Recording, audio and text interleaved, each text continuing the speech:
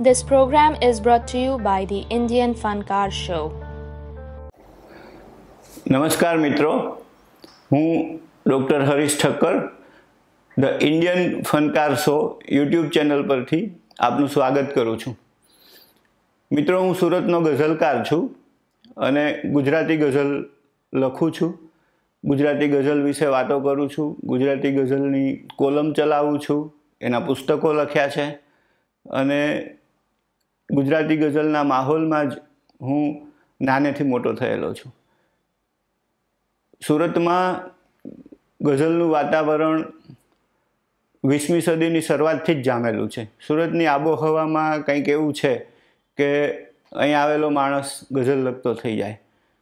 હું મૂળ સૌરાષ્ટ્રનો અને આયુર્વેદનો ડૉક્ટર વ્યવસાયે સુરત સ્થિત થયો.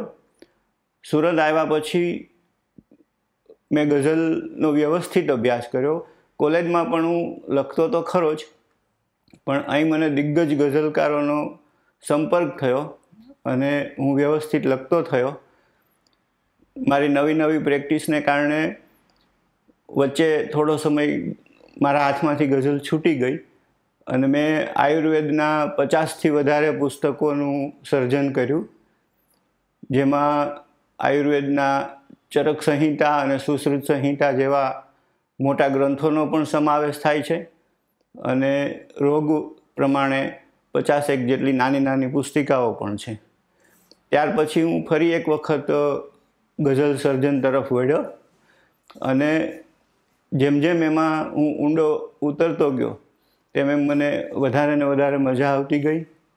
મારા અભ્યાસને કારણે હું ઉર્દુ ગઝલમાં પણ રસ લેતો થયો, જેને કારણે સુપ્રસિદ્ધ દૈનિક સંદેશમાં દોઢેક વર્ષ સુધી મેં કાવ્ય કળશ એ નામની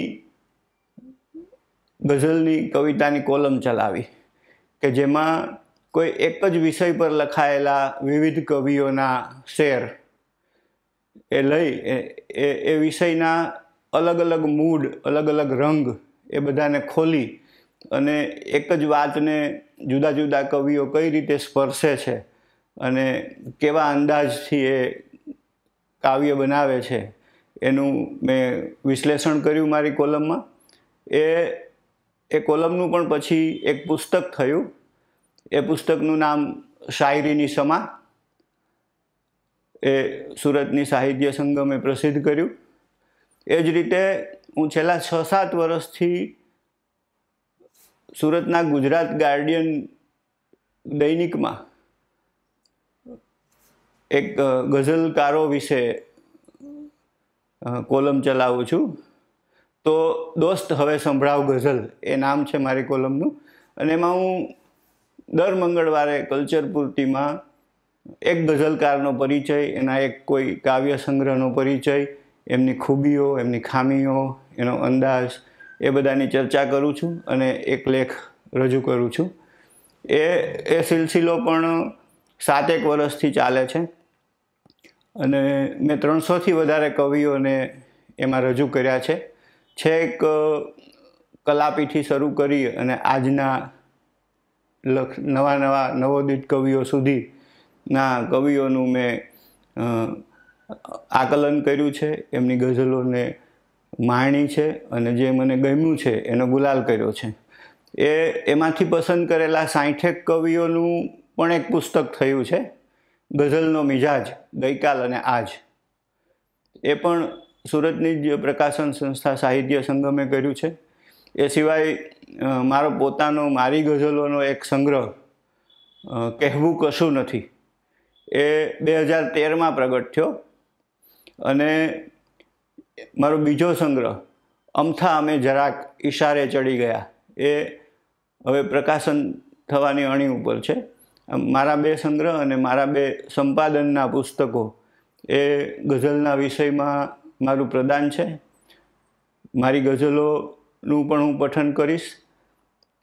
તમને મારી ગઝલો હવે સંભળાવું. તમે મને શાંતિથી સાંભળ્યો. ખૂબ ખૂબ આભાર. હવે હું રજૂ કરું છું મારી ગઝલો. આભાર.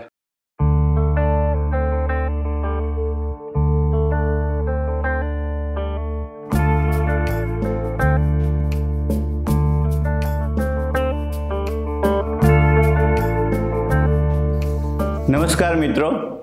હું doctor Harish Thakkar. Indian Funkar YouTube channel પરથી મારી ગઝલો રજૂ કરું છું. પઠનની શરૂઆત હું એક મુક્તકથી કરીશ. મુક્તક છે કે એક ટસ જોયા કરે છે ક્યારનો. એક ટસ જોયા કરે છે ક્યારનો, સો પુરાવો હોય બીજો પ્યારનો એક ટસ જોયા કરે છે ક્યારનો, સો પુરાવો હોય બીજો પ્યારનો ને આઈનામાં જોઈ એ મલકી જરા. આઈનામાં જોઈ એ મલકી જરા આઈનો મલક્યા કરે છે ત્યારનો. આઈનો મલક્યા કરે છે ત્યારનો. આઈનામાં જોઈએ મલકી જરા. આઈનો મલક્યા કરે છે ત્યારનો. ને એક ગઝલ રજૂ કરું છું. ગઝલનો મતલા છે કે અમથા અમે જરાક ઈશારે ચડી ગયા. અમથા અમે જરાક ઈશારે ચડી ગયા. એના હૃદયના રંગ તો ગાલે ચડી ગયા. એના હૃદયના રંગ તો ગાલે ચડી ગયા. અમથા અમે જરાક ઈશારે ચડી ગયા. ને એની નજરમાં આવવા વાચાળજો થયા. એની નજરમાં આવવા વાચાળ જો થયા. એમાં તો કંઈકની અમે આંખે ચડી ગયા. એમાં તો કંઈકની અમે આંખે ચડી ગયા. એની નજરમાં આવવા વાચાળ જો થયા. એમાં તો કંઈકની અમે આંખે ચડી ગયા અને શેર છે કે રમતું હતું સવારનું અજવાળું આંગણે. રમતું હતું સવારનું અજવાળું આંગણે. તડકા જુવાન શું થયા? માથે ચડી ગયા. તડકા જુવાન શું થયા? માથે ચડી ગયા. રમતું હતું સવારનું અજવાળું આંગણે. તડકા જુવાન શું થયા? માથે ચડી ગયા. ને કરતો હતો હું વાતને બહેલાવીને જરા. કરતો હતો હું વાતને બહેલાવીને જરા. કિસ્સા કોઈના, કોઈને નામે ચડી ગયા. કિસ્સા કોઈના, કોઈને નામે ચડી ગયા. ને પૃથ્વીને મન રમત હશે. પૃથ્વીને મન રમત હશે. ફરતી રહે સતત. પૃથ્વીને મન રમત હશે. ફરતી રહે સતત. અમથા દિવસને રાત રવાડે ચડી ગયા. અમથા દિવસને રાત રવાડે ચડી ગયા. ને ક્યાંથી વિચાર આવે છે? ક્યાંથી વિચાર આવે છે? ક્યાં જાય છે વિચાર? ક્યાંથી વિચાર આવે છે? ક્યાં જાય છે વિચાર? એવું વિચારવામાં વિચારે ચડી ગયા. એવું વિચારવામાં વિચારે ચડી ગયા.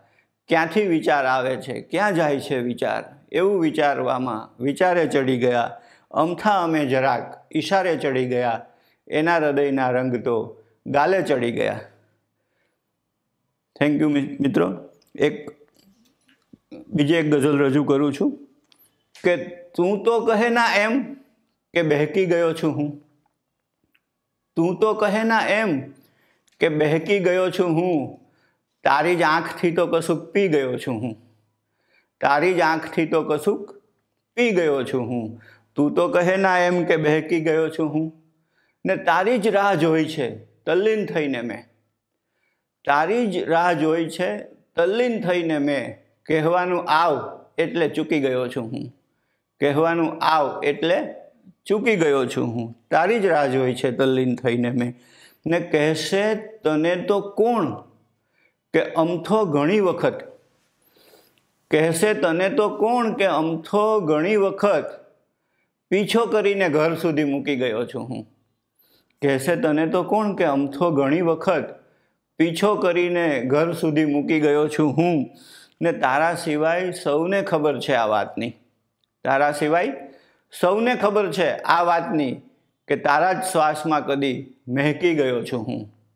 તારા જ શ્વાસમાં કદી મહેકી ગયો છું હું. ને તારો જન્મ દિવસ મને ભૂલાય કોઈ દી? તારો જન્મ દિવસ મને ભૂલાય કોઈ દી? પણ કેટલામો છે એ તો ભૂલી ગયો છું હું. પણ કેટલામો છે એ તો ભૂલી ગયો છું હું. તું તો કહે ના એમ કે બહેકી ગયો છું હું. તારી જ આંખથી તો કશુંક પી ગયો છું હું. આભાર મિત્રો. Thank you